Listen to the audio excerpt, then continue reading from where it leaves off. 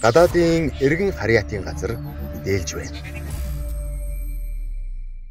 Өргөж иргэн аж ахуйн нэгж байгууллагад зориулсан зөвлөмж 2023 оны эхний 9 сарын байдлаар нийт 5524 гадаадын иргэн зөрчил холбогдож зөрчлийн тухай хуулиар торгуулийн арга хэмжээ авагдсан бөгөөд зөрчлийн дийлэнх буюу 81%-ийг өргөж байгууллагатай холбоотой зөрчил эзэлж байна. Иймд гадаадын иргэнийг өргөж байгууллагад дараах зөвлөмжийг хүргэж байна.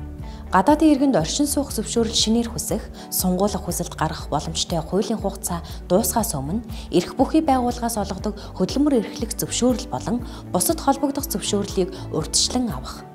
Гадаадын иргэний Монгол улсад оршин суух зөвшөөрлийн хугацаанд анхааралтай хандаж, виз оршин суух зөвшөөрлийнх нь хугацаанд нутаг буцаах Тухайн байгууллагын гадаадын иргэний виз, оршин суух зөвшөөрөл, бичиг баримтыг хариуцсан ажиллаж буй мэрэгчлэнүүдэд гадаадын иргэний виз, оршин суух зөвшөөрлийн хүчинтэй хугацааг тогтмол шалгахыг сануулах.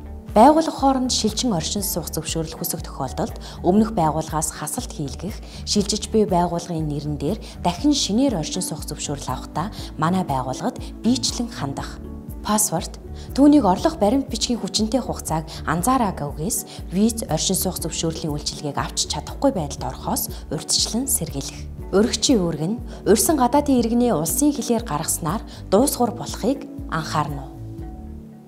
Уйл зүй дотоод хэргийн яамны харьяа гадаадын иргэн харьяатын газар